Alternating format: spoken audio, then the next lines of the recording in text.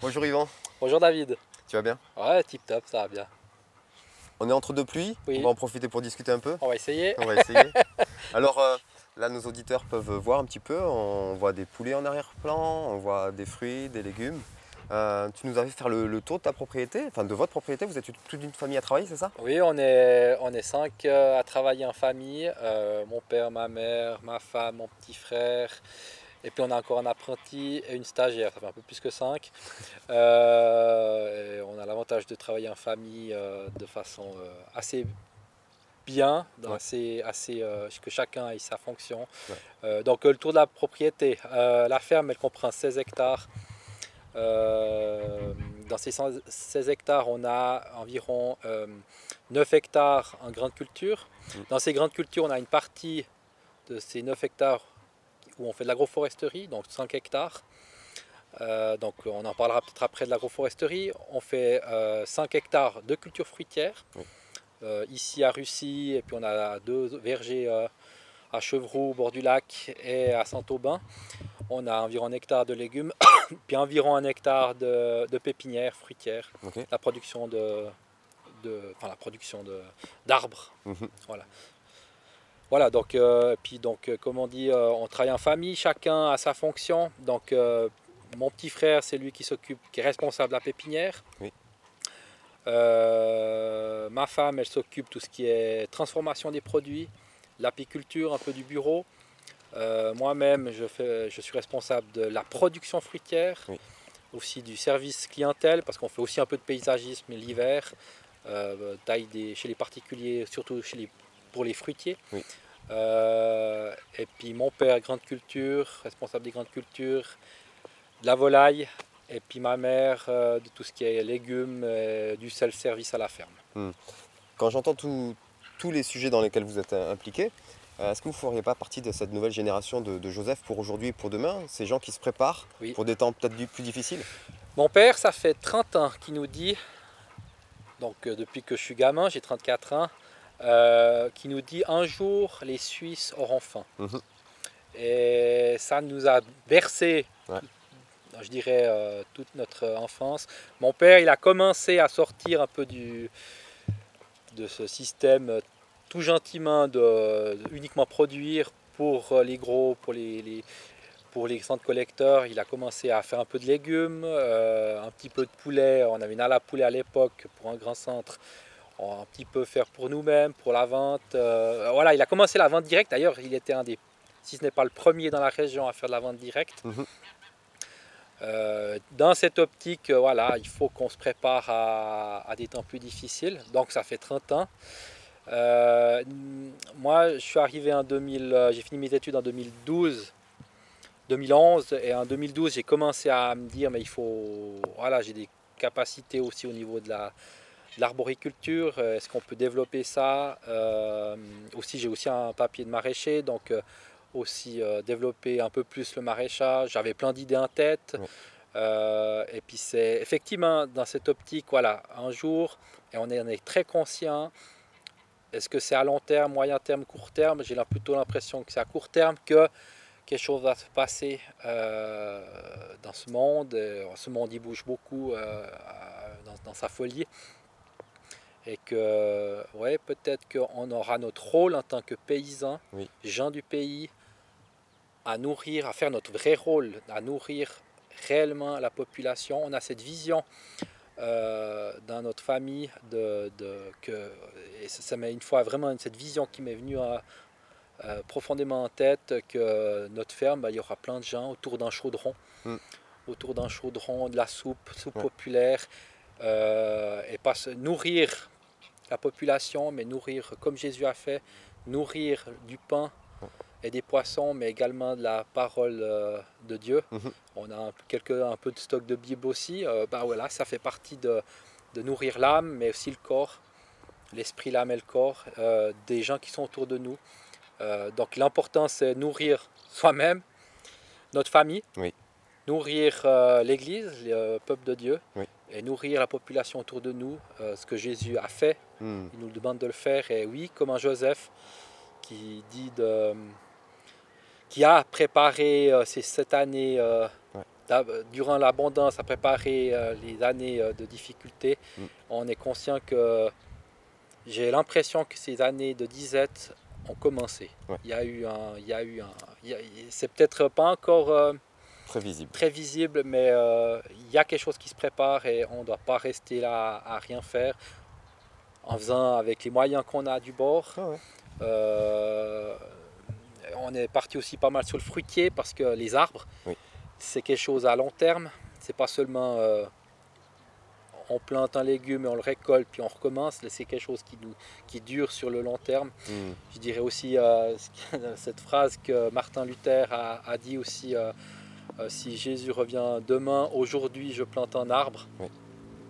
Et effectivement, on voit les choses avancer, on voit ce que Jésus revient demain, c'est fort probable. demain, ça peut être après-demain aussi, mais hmm. de préparer cette suite qui arrive et qui va être compliquée pour nous chrétiens, mais également pour la population autour de nous. Mhm. Euh, oui, on devra nourrir la population. Oui, donc c'est pas juste pour euh, sauver ta famille. Non. C'est plus large. c'est beaucoup plus large, mhm. effectivement. Ça marche. Bon alors la pluie nous a chassés, euh, on s'est déplacé. Alors on, on, a été chassé du verger, mais là on est à l'abri devant la ferme, donc ça marche aussi. Ça va aussi. Ça va aussi. Ok. Tu as parlé vite fait d'agroforesterie, donc j'ai bien vu, c'est l'endroit où vous avez il y a des céréales, il y a des pommes de terre, puis il y a des arbres. Tu nous expliques un petit peu? Oui, alors déjà l'origine. Euh, euh, depuis, euh, même depuis 2012, j'avais déjà créé une pépinière, petite pépinière pour mes arbres à moi. Et puis je m'étais dit, ah, ben, je vais aussi en vendre un petit peu, de 300, 300, 400 dans les alentours. Et puis effectivement, j'ai bien fait, ça m'a ça, a permis à, me lancer le, domaine hein, en 2012, 2013. Euh, mais j'en ai fait un peu trop. Mhm. Euh, j'avais une centaine d'arbres hautes tiges, fruitiers, surtout pommiers, poiriers, qui me, qui me restaient euh, en, stock. Et puis, allez, sur, sur je tape un peu sur internet, qu'est-ce qu'on peut faire avec des arbres hautes tiges, à part des vergers puis c'est là que je tombe sur un article d'une revue agricole euh, qui parlait d'un des pionniers de l'agroforesterie en, Suisse. voilà, au départ, sans conviction, je me dis, ah, ça peut être, sans conviction, je le dis hmm. bien, ça peut être une idée. L'objectif premier était de ne pas devoir mettre mes arbres euh, au feu. Et puis je dis à mon papa, euh, est-ce que tu serais d'accord que je te plante des arbres dans tes bonnes terres Puis mon père, il est, j'ai vraiment de la chance de, l'avoir. Euh, il m'a dit, de toute façon, euh, l'avenir c'est toi, donc tu fais un peu ce que tu veux, si tu as envie de, mettre ces arbres dans, ces cultures. Et puis bon, là, ça a démarré en 2015.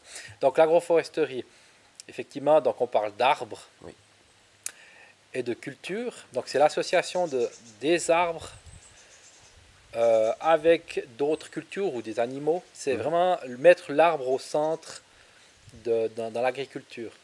Euh, et nous, on avait des grandes cultures. On s'est dit, bon, bah, alors on va planter ces arbres au milieu des grandes cultures.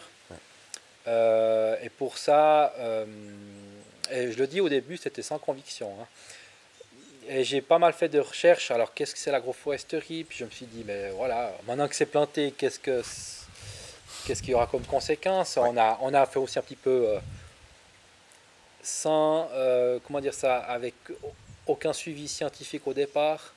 On était là, on, était, on fait partie des pionniers euh, dans le canton de Fribourg à faire de l'agroforesterie. Donc pour nous, c'était quelque chose de très vague. Et on a planté ces arbres en distance entre les lignes de euh, il y, a, différents styles de 20 à 27 mètres euh, entre les lignées d'arbres. Puis voilà, on continue à cultiver autour de ces arbres. Et euh, avec le temps, je me suis dit que c'était certainement une bonne idée. Oui. Il y a des avantages, il y a des inconvénients. En fin de compte, déjà nos grands-parents faisaient travailler ainsi. Déjà, donc c'est pas c'est pas nouveau en soi quelque chose qui est, qui est ancestral. J'ai revu des photos de notre canton euh, du siècle passé, début 1900, où, où euh, les paysans cultivaient du blé euh, sous les pommiers. voilà, il y avait cette association qui était vraiment là, où ils passaient la charrue avec les chevaux, ils tournaient autour des arbres. C'était quelque chose qui était, qui était très commun. Puis en fin de compte, avec à cause, je dirais, des problèmes d'alcool, la Régie fédérale des alcools ont décidé d'enlever beaucoup d'arbres fruitiers qui amenaient beaucoup de, de mhm. qui étaient beaucoup bu dans les campagnes. Donc, euh, il y a eu des subventionnements pour l'abattage d'arbres, mais également la mécanisation qui ont fait que ces arbres soient, se sont, ont été euh, recommandés d'être abattus. Donc, en fin de compte, c'était ancestral cette façon de travailler. Et on s'est remis là-dedans, à plonger sur les bienfaits, les désavantages de l'agroforesterie. Et en fin de compte, avec le temps, voilà, c'est peut-être pas une si mauvaise idée dans le sens où ce qu'on cherche aussi sur le domaine, c'est améliorer nos sols. Hmm. Et en fin de compte, l'arbre euh, permet en fait que le qu'il y ait beaucoup plus de vie. Là où on a nos cultures. Euh, il y a les feuilles qui tombent, qui amènent de l'humus, il y a les, autant de racines qui poussent que de, de branchages qui poussent à l'extérieur. C'est une vie euh, qui est, qui est, qui est en symbiose entre l'extérieur et, l'intérieur du sol. Mais il y a autant de racines qui poussent que de racines qui, euh, qui. Donc, qui dit mortalité de végétal, dit humus, dit aussi euh, vie de, bactéries, de champignons. Euh, donc, en fin de compte, cet aspect d'amélioration du sol était très important pour nous. L'aspect aussi climatique, bien que je mets des... Je suis pas en train de dire... je suis pas ni un climato-sceptique, ni un ni quelqu'un qui, euh, qui va croire tout ce que les médias disent hein, sur le mhm. climat. Euh, en fin de compte, le climat, il bouge depuis euh, tous les temps. mais en fin de compte, on est, il faut avouer, quand même une période de, allez, disons le réchauffement. de changement. De changement, voilà. Ouais, c'est le meilleur mot. et si on se projette sur l'avenir, s'il y a des temps un peu plus euh, chauds qui nous viennent, l'arbre va amener de l'ombrage aux cultures, et ça on, on l'a vu. Et aussi, euh, euh, si on travaille bien l'agroforesterie, donc on, permet à ce que les racines n'aillent pas concurrencer la culture, et ça il y a un travail qui doit être fait. la culture elle est peu concurrencée. Et l'arbre va amener l'eau de surface euh, de, au sous-sol en surface. Donc, euh, en cas de sécheresse, l'agroforesterie est, est, bénéfique pour nos cultures. Et en fin de compte, comme on aime aussi les arbres, je dis toujours, toujours aux, paysans qui s'intéressent à l'agroforesterie, si vous n'aimez pas les arbres, allez, ça va vous les, les rétros vont se prendre dans les branches avec vos tracteurs. Vous allez, euh, l'envie, ce sera uniquement la tronçonneuse. Donc, il faut quand même avoir un, un, certain amour pour les arbres, aimer les arbres. Euh, puis nous, on aime les fruits. Euh, on plante des arbres qui produisent. On aurait pu aussi faire pour le bois d'œuvre. C'est vrai que c'est aussi l'idée, ça marche aussi. En fin de compte, il y a beaucoup d'avantages avec l'agroforesterie.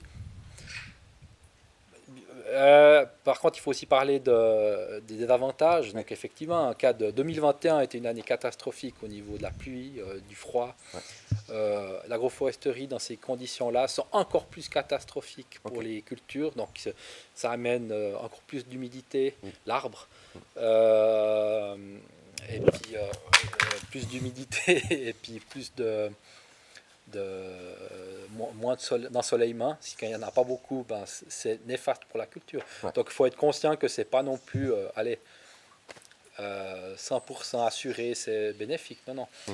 Euh, mais pour la vie du sol, on en est conscient que c'est très bien. Et du coup, comment vous vous positionnez du coup avec ton frère, j'imagine, puisque c'est vous deux un petit peu la, la relève? la relève avec ma femme. Entre bah, justement ces, ces techniques qui ont toujours fonctionné? Et puis, euh, ces nouvelles techniques qu'on redécouvre ou celles qui sont en train d'être expérimentées Oui, effectivement, on, a, un peu cette euh, fibre en nous de découvrir un peu des nouveautés.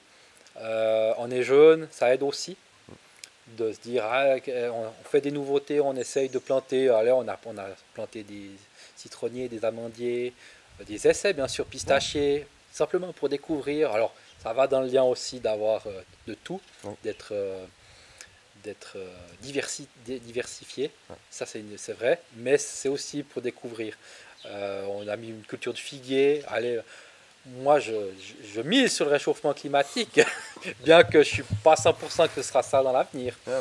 Euh, mais euh, en fin de compte, euh, allez, on découvre, c'est un peu cette soif de... En fait, le monde paysan, ça devrait être ça, mm. de pas seulement suivre ce qu'on nous a enseigné à l'école d'agriculture. Mm-hmm. C'est facile de prendre le, le, magazine de Syngenta, et puis là, il faut, il faut suivre ce traitement-là, ça, tac, tac, un point, point 1, point 2, point 3, puis ça fonctionne.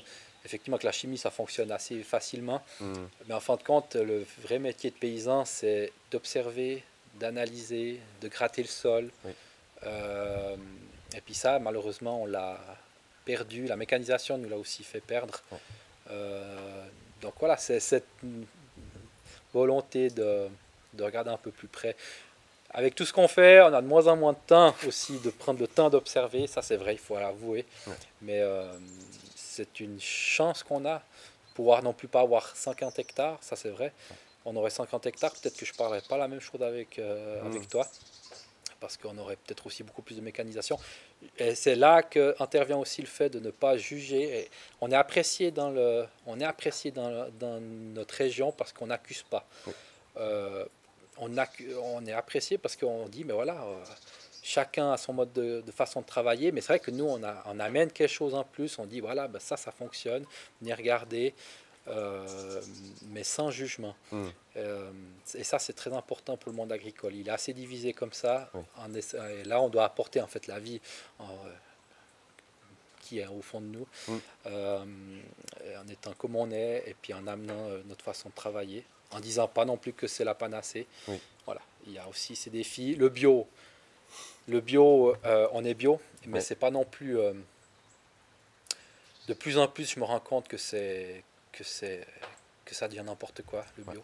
C'est une, un mastodonte bureaucratique. Euh, c'est les grandes surfaces qui ont pris le, label euh, dans leur poche.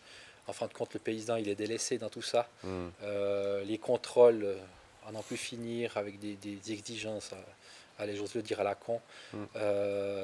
donc, non, je suis pas en train de faire de la promotion pour, une, pour un label ou pour une façon de travailler. On, on le vit on le vit par ce qu'on fait.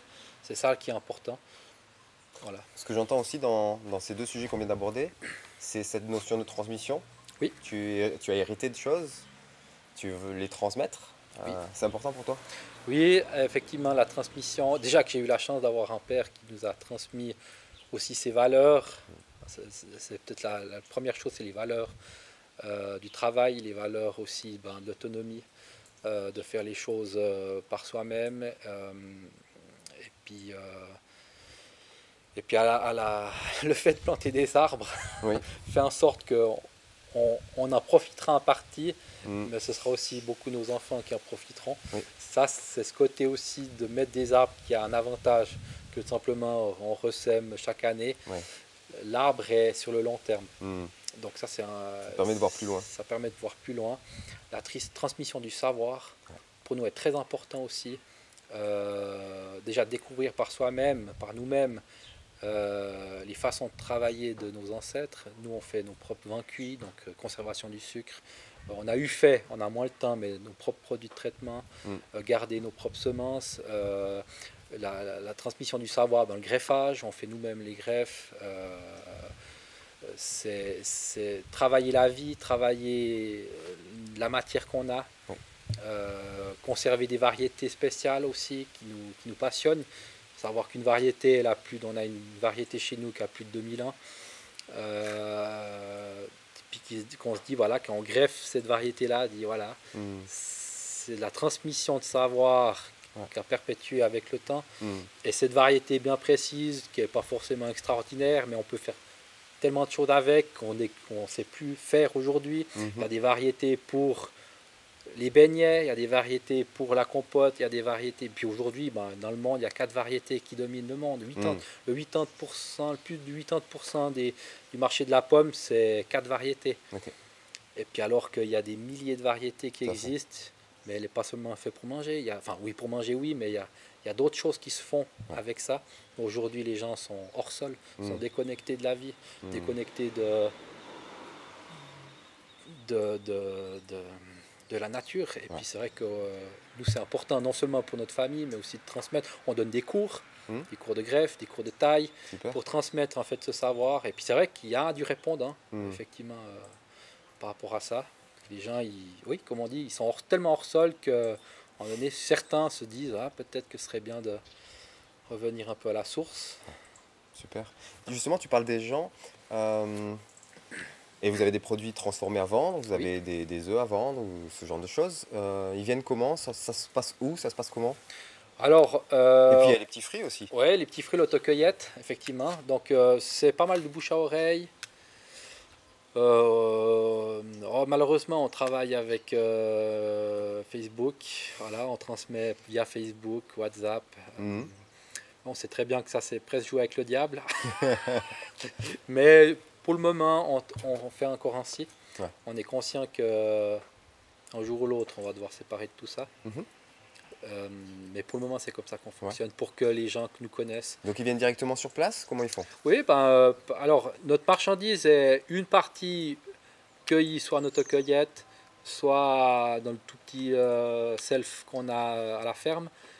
Après, on travaille aussi avec d'autres agriculteurs. Nos produits majoritairement partent chez des paysans qui font les marchés de Berne, de Fribourg. Mhm. On a, on a un petit magasin aussi, enfin magasin, on est actionnaire à Fribourg, un magasin de producteurs. Voilà, c'est comme ça que nos produits sont véhiculés. On a travaillé une fois avec la grande dis- distribution. Je crois qu'on nous a volé une fois, Mhm, Pas de. pas deux, Hmm. si possible. Et puis, euh, ouais, travailler avec le diable. non. Et euh, tu parles, on a parlé d'accueil justement. euh, Il y a un petit peu de tourisme avec ceux qui viennent en camping-car, c'est ça? Oui, Comment ça alors, fonctionne?